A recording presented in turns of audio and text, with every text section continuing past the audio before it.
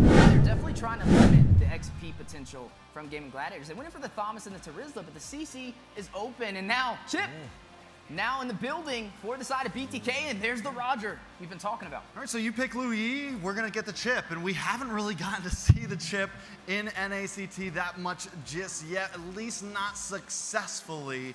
BTK really throwing a wild card in here. I mean, a chip, and especially in a five-man setting, the familiar Martis getting picked up there for that last uh, that last pickup for best player. But chip, the one thing that I have seen when it comes to like these group plays is, especially in the mid to late game, especially in the early, if he catches you, you're basically caught by the entire team. You throw down those portals, the entire team comes out, destroys you, gets back in their lane like nothing happened. And this is going to be something that can help match them against the diversion of Hoon on the Luo Yi. I hope the cameraman can keep up with all this mobility on the board. There's a lot of teleports with the Valentina, with the Luo Yi, but then the chip to even rotate more around the map for BTK something. Gaimin Gladiator is going to have to watch out for it, but keep in mind, GG able to take game number one, 14 minute finish, bit on the hook, BTK trapped inside of GG's trap for game number one, but this is their chance to turn this around and even out the series. All right, so let's jump into it right now. GG leading this best of seven by one. BTK looking for the comeback to even things out. Yeah, and this is where it matters. You're down one game. Can you bring it up to a tie? Can you break that momentum? Yeah, breaking the momentum is key to the world. They will show a little bit of that slogan for the NACT spring season. But Mobazane, yet again, Game number two, similar to game number one, ran that Fredrin has a lot of crowd control he's gonna have to watch out for. Best player, again on the Martis, needing to find a way to pave the early game. Ooh, Shark actually may be caught here in the early game, takes a stun, able to flicker himself to say, I have to stop uh, like uh, guessing Shark here if he's gonna get caught.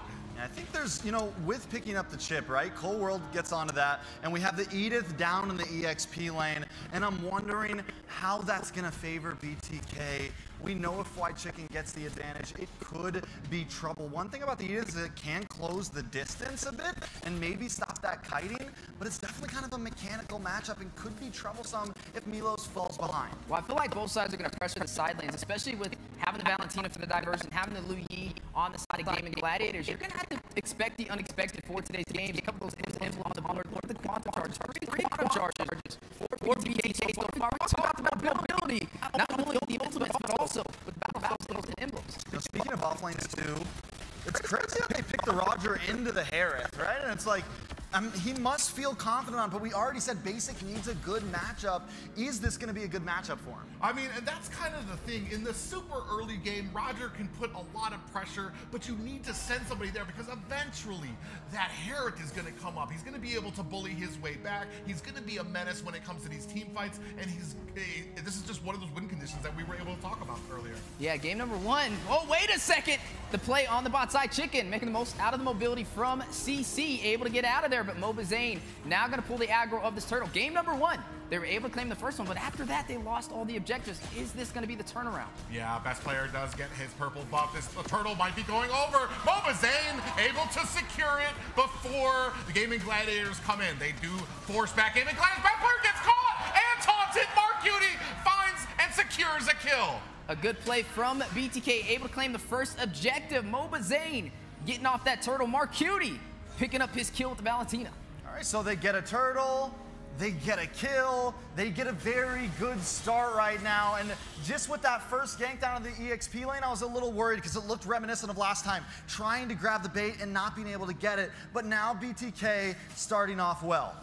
I mean, this is one of the successful points. Oh, we do have a diversion coming in. Mark Cutie able to see it, so they don't go in with it. But one of the, the, the pressure points we were talking about, oh, we do have the Zaman Force laid down, immune onto Zia, putting on a damage best player oh. there, finds the decimation. Basic is down. Cold World running for the hill, gets caught on the flank by Shark. Requiem is out there. The, the, the Hoon laying down the damage, but not able to secure kill number two. Basic walks right into the Zaman's force and catches a face full of decimation.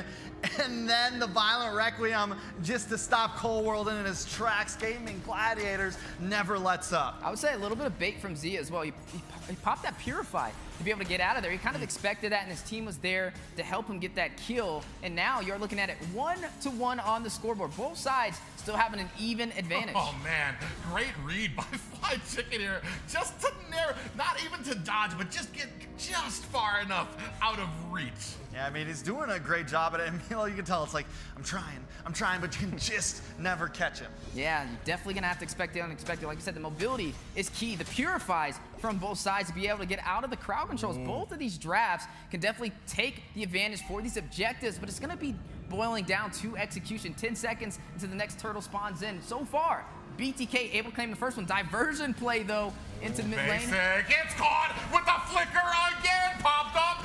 Damages out Hoon, finds a kill there. Zia running away, BTK on the chase, and there goes the damage. Cold World able to pick up that kill there. Hoon getting to the safety of his tower. Okay, it's still a bloodbath just like last game, but this time BTK getting the better of it, but the gold's still so close. Yeah, the rotation to the top side. The Zombie Force dropping down the defense from BTK. Hoon, though, able to take down basic Koro, gets a response back, though. 3 to 2 on the scoreboard. And look at Mobazane on that Fredrin, not afraid to try and deny some of the farm from Gaimin Gladiators. One of the things he kind of profits on as the jungler and uh, for BTK. You are going to see Windtalker picked up over there from Basic as well, getting ready to have those enhanced basic attacks on this Roger. Roger, who we've seen one of the few heroes to get a Savage this NACT spring season. Most definitely. Now we got to take a look, right? We got to see again the gold lead. It's unlike last time where GG they were getting some extra kills. They were steadily climbing ahead. BTK not really able to push completely forward just yet. a little bit of a hello there from best player and Mobazane. Uh, no kills. Uh, I mean, we're a little, I don't want to say slowed down. They're kind of baiting out, looking for an opportunity. See, Star comes in here, Cold World, on, he knows. Yeah, it's neck and neck right now, but something definitely standing out is Zia ahead in the gold lane up against Basic right now, up by a thousand. Need to be careful, but look at the top side. A little uncontested. Basic knowing he can't step there to defend, and this is going to be GG claiming the first turd of the game. Ooh, from the flank, Cold World looking for an opportunity here, looking for an angle. Domin Force laid out, Cold World taking a heap of damage. Here comes the rest of oh. BTK, looking to pay them back. Hoon in trouble, gets taken out by Meilow, and they are unable to return the favor. All right, they show up, they pull up, they skirt out, they find a kill. They may lose that bottom tower though. Could be a problem. They're looking for another oh. one deleted.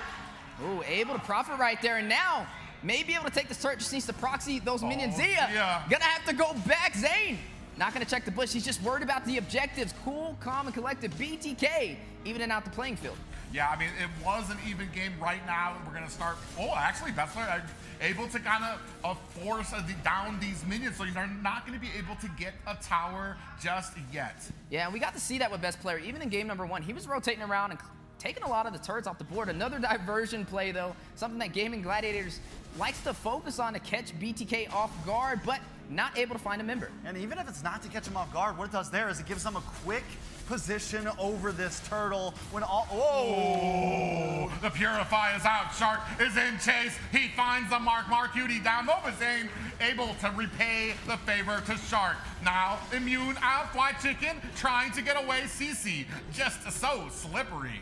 And now BTK gonna take control of the Turtle Pit, a turnaround against Gaimin Gladiators. Mark Cutie falling short right there, but BTK still working in their favor. Turret does drop as well. So with gold being so even right now, we're gonna start creeping into the mid game. How do late games match up? How does this really match up? No one's got a huge lead, Wheezy. Yeah, and that's where it's gonna kind of boil down to the execution from both sides. Who can get that diversion off first? Ooh, they come in now. Basic does find a kill on the Fly Chicken, but he's getting chased by four members of the Gaimin Gladiators. He is going to be able to find him escape. And Gaimin Gladiators, man, right now this game seven to three, falling a little behind. Basic finally showing up, putting a kill on the map. He's had a troublesome game and a half. Maybe he can finally start pulling something together here. Yeah, BTK now trying to put some pressure in the mid lane. Both sides still holding on to their mid turret. So far, one turtle for BTK, two turtles for Gaimin Gladiators, two turrets for them as well, which means they still have the slightest advantage, but they're down in kills. Yeah, I mean, but right now, when it comes to kind of the macro on the board, you've got two towers down on BTK side. So B Gaimin Gladiators still comfortable. They're not worried about the kills. They're just worried about the pressure on the map. And this, as you were talking about, that late game, what kind of answers do they have in that late game? Because unlike the first game, they don't have a lot of pressure in the early statures here. And this is something we see in this matchup all the time between BTK and GG. Even if BTK has that kill lead, they seem to not be able to keep up in overall gold. GG still hunting, Oh. looking for something. And just like that, Fly Chicken gets caught by BTK, but he's going to be able to get away. Basic looking for an opportunity, looking for the angle, finds the kill onto Fly Chicken. The rest of Bloodthirsty Kings turning their tails on to GG, who return some suppressive fire and are going to be able to find themselves an escape. Unfortunate for Fried Chicken. I really wanted to say the statement, skated out of there, but not able to pull it off. You got to see Basic on his tail to be able to get that kill. Finding his second kill of this game, a little bit better of a start compared to game number one. So now the gold lead has finally gotten ahead. It took a little bit. They've been standing on a standstill, but still, it's still dropping down. GG is just so good at cleaning up the map and keeping the gold in there. First Lord up, and nobody feels extremely ahead. Yeah, now you have a, a four members of BTK. They're a little bit of a bait out for this Lord GG looking for an opportunity. Interestingly enough, we have Chip on the outside trying to push the flank. Uh, so you're not going to have all those portals out ready uh, when it comes to this objective. GG now turning their tail uh, back to this Lord. Yeah, trying to find the advantage, looked for the diversion play, not able to find it, but gathering some information against BTK. And now, look at Meilow on the bot side, just giving that vision. Doesn't want to allow them to take this objective with ease. They do have a diversion on their side as well, especially with that Valentina that can profit. But so far, profiting GG slightly with the advantage. Gonna get Pull caught, get stunned out. Here comes the rest of BTK. Immune out. Zia looking for, uh, is not gonna be able to find an escape. Diversion is out.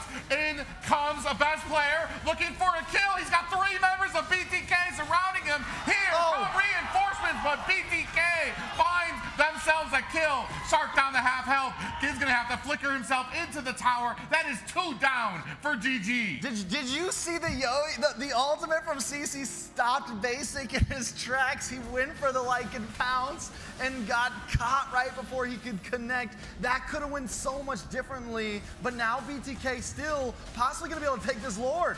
Yeah, gonna give him the advantage. Now gonna be able to claim this objective, not losing a member in that engagement, but taking some away from Gaimin Gladiators. Now, in control of this game, 11 minutes in. Last game, number one, we got to see GG close it out the 14 minute finish, but doesn't look like this is gonna be the same story. Yeah, I mean, you got about a 3K gold lead for BTK right now. They've tied up the towers. They now are starting to get objectives, and this is where Gaimin Gladiators should be worried. Yeah, definitely should be worried. I would say I'm kind of paying close attention to Fried Chicken 020, but the mid lane. I, I do like to see Shark. He is able to find that pop up, realizes it's not the target he wants, immediately backs up. Most definitely now BTK with control over the map, with a nice gold lead. Cold World maybe gonna try to pull up on best player just like they did Zia earlier. Oh, best player's not able to stop this tower from going down. Cold World comes in, Portal is out. The rest of BTK comes in, but best player says, eat my dust. He's looking for an escape, getting caught, comes in for the scissors, and is not able to get away. Another kill for Basic. Okay, so BTK pulling on the same strings that GG used last game, catching them off one by one, teleporting around the map. Man, just behind us, the audience is going wild. They're even more hyped than we are on the casters. That's you gotta love to see it. But yeah, great play from the side of BTK, making the most out of the mobility. But now looking at a possible push through the mid lane. Yeah, Simon Force laid down. Mobazane in the midst of the fight. Zia's gonna go ahead, gas himself to safety, and down goes another tower. But Gaimin Gladiators not looking to let it go in kind. Yeah, able to take down two members of BTK though. Gaimin Gladiators still trying to find the resolve. As we do take a little bit of a look at that replay for that push in the tier two turret. The Zama Force dropping down, forcing Zia back into the base, but now the counterplay from Gaimin Gladiators. BTK, we talked about it, right? Control those primitive urges and maybe a chance for GG to turn this around. Now, one moment brings GG back into the game here, taking down these towers. I don't think they'll be able to finish anything, but they will be able to really bring back that gold. Oh man, and we were just talking about this. It's just those little mistakes is all that GG needs to kind of almost tie up the towers now. It's five towers to four right now. BTK was in a very secure lead. Now a little over 2K gold lead for them. Yeah, you are going to look at the side of Gaimin Gladiators. Basic falling behind Tazia. He's still up on this Harith. We wanted to see how it kind of played into the gold lane, especially up against the Roger. But nonetheless, both sides still fighting it out. You are looking at BTK stripped down almost to their inhibitors, but the same story uh, on the other side of the table. So this is, again, a possible another 50-50. But game number one, we saw BTK get a little too aggressive, and that's when GG started to profit. You know, with the amount of the diversions, with the amount of the teleports from Chip, the portals, everything, vision is key in this game. Depending on when you want to poke your face into these lanes to take these minions is going to be crucial as we move forward into this because that's going to be who knows where to make the play happen. Yeah, you are going to see the Lord spawn in GG. Going to go ahead and pull the aggro, trying to force out the Bloodthirsty King, spotting out Meilow. Shark with the spatial migration, and now the play for the objective.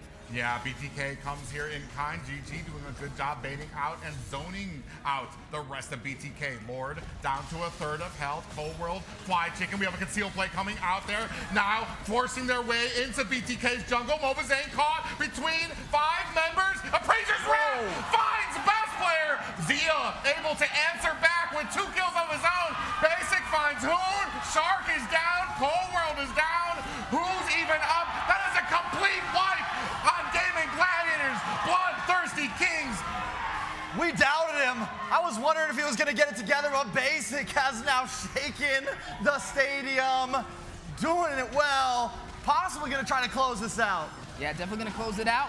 Base Crystal, only thing to go through with a couple of minions, but can he do it? Yeah, they, you can see that the spawning time is coming in here now, trying to put it. They, can they attack fast enough? 50%.